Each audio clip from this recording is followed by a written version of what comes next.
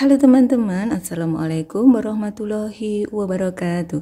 Bertemu kembali dengan saya, Nini Utari. Untuk video kali ini saya akan menjawab pertanyaan dari seorang teman ya Yaitu, bisa nggak kita mengetik huruf Mandarin tradisional dengan menggunakan pinyin? Kita bisa mengetik huruf Mandarin tradisional, yaitu huruf yang sering digunakan Taiwan dengan menggunakan pinyin Biasanya kita kalau mengetik huruf Mandarin tradisional kan menggunakan be, pe, me, fe ya. Jadi kita harus hafal be, fe itu seperti apa baru bisa mengetik. Di sini saya akan memberikan tutorial bagaimana bisa mengetik huruf Mandarin tradisional dengan menggunakan pinyin. Caranya sebagai berikut. Kita masuk ke pengaturan, klik di sini. Kemudian di sini kita cari manajemen umum. Oh ya, HP yang saya gunakan ini adalah HP Samsung. Kita cari manajemen umum. Di sini, klik di sini. Kemudian di sini kita klik yang paling atas bahasa. Klik di sini.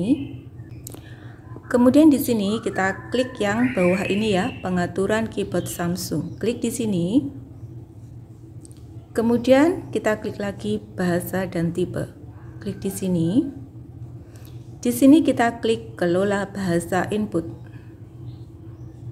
Oke, di sini muncul banyak pilihan. Teman-teman, karena kita ingin mengetik huruf Mandarin tradisional, maka kita pilih Tionghoa yang Fanti Chi, yang Fanti Chongwen, Taiwan ini ya. Kita nyalakan, klik di sini.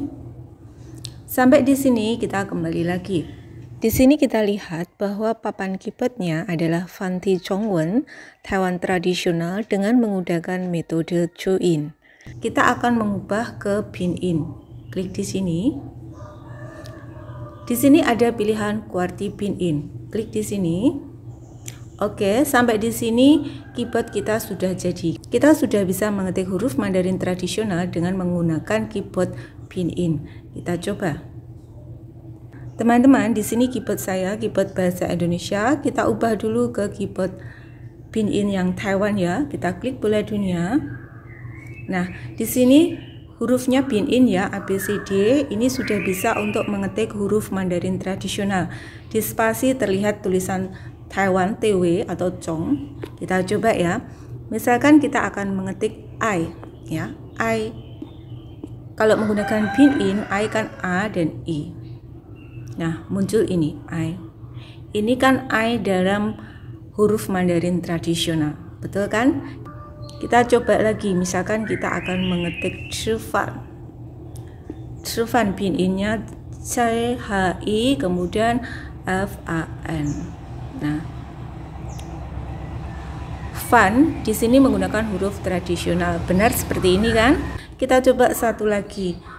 Huan, ya Huan itu hurufnya X I H U A N.